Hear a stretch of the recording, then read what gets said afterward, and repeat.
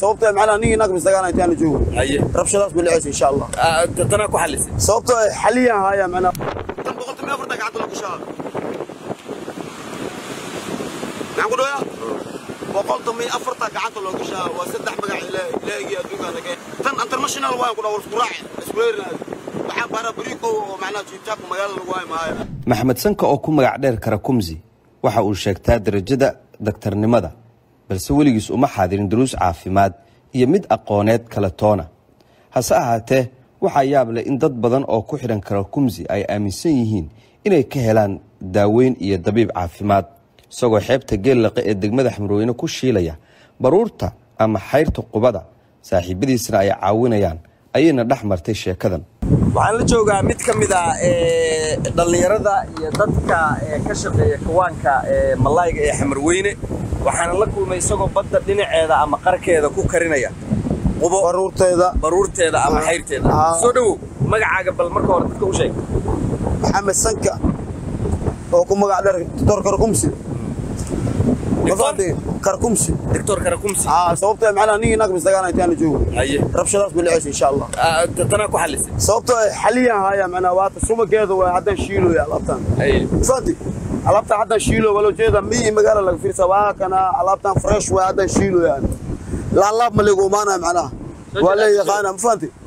Alaabtana ujeedin macnaha maasha allah horta ilaahay muku darnaaday khaasatan macnaha ragnimada fikshinka ninka qabo gaaska qofka biniaadanka qabo sokorta oo kaleenta ilaahay muku darnaaday qofka macnaha oo tabar tabardarada qabo?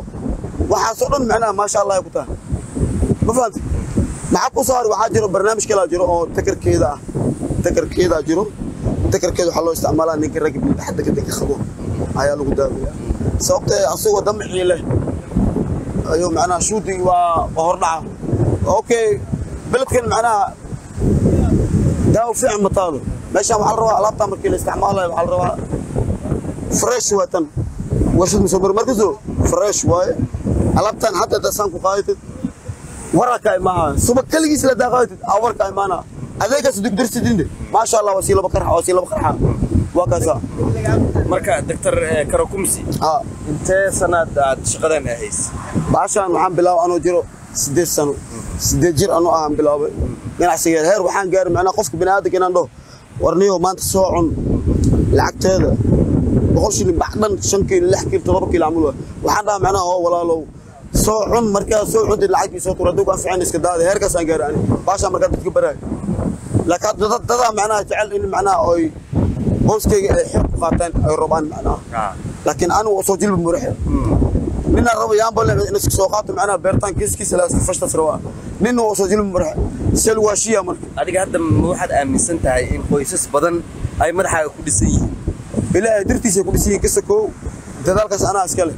Waa kaas sababta rabshad waa badatay.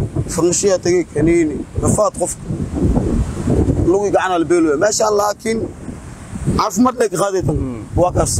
Caafimaad lee laga qaada alxamdulilah dadka marka ugu dambayn maxaad u sheegaysaa macaamiishaada iyo dadka muuqaalkaaga iyo shaqadaada hadda ay ugu horeyso umaya hadda dad badana xoogaa ayaantaan macnaha aan qadkiga arkin Ah. oo laga dhaadhicay macnaha duqa macnaha waa ka baxa qadka camal Ah, karakumsi haa doctor karkumsi qadka waa ka baxa camal laakiin wili macnaha waa joogaa macnaha. Ma fahanti? Xoogaa yar macnaha doon iyo waxyaabahaas macnaha badda iga doomeen iyo waxyaabahaasaan ku mashquulsana maayne shaqadii meeshaan ka wada ana duulee raagan inta badan waxa ay bulshada soomaaliyeed aaminsan yihiin in dadaalyarida dhinaca gogasha ay yarayn karto isticmaalka hilibka iyo saliidda qubada inkastoo aysan dhaqaatiirta ka hadlin arrimahaasi amaba aysan jirin cid ay kula taliyaan isticmaalka noolahaasi qubada. Suldaanka guud ee beesha waqujira cawareer sacad suldaan cabdulaahi cali sheekh maxamed dhudhun ayaa laba neef oo geela oo loogu talagalay ciidamada xoogga dalka soomaaliyeed iyo daraawiishta galmudug iyo kuwa deegaanka galabtay ku wareejiyey duleedka degmada wisil ee koonfurta gobolka mudug goobta lagu wareejinayay labada neef ee geel ah waxaa goobjoog ka ahaa guddoomiyaha guddiga iyo difaaca dib u xoreynta koonfurta gobolka mudug sheekh cabdimanaan sheekh maxamed cismaan nabadoonno guddoomiyaha degmada wisil cali xasan guuleed. Ugu horreyn waxaa halkaasi ka hadlay suldaanka guud ee beesha waqujire cawareer sacad suldaan cabdulaahi cali sheekh maxamed dhudhun. Aad baa ugu mahad celinaya ciidamada qalabka sida dhammaan? Oo halkaas deegaanka weliba gaar ahaan odayaasha dhaqanka dadka reer wisil iyo dadka gobolka mudug jooga dhammaan oo u mahad celinaya runtii. Iyo guddiga difaaca oo halkaan intaa fadhiyey ilahay baa mahadla waa mahadsan yihiin. Galabta waxaan soo booqannay inaannu arrintaan indhaindhayno waxaan kaloo rabnay inaan wax ku biirino runtii. Sidii loo sheegay horey loogu sheegay. Horeyna waa u soo taakulaynay oo dadkaan qayb ka ahayn wax taakulaynayay haddana geelaas gadaashaeeda taagan ayaan ugu tala galnay in maaragtay ciidamada loo qalo runtii.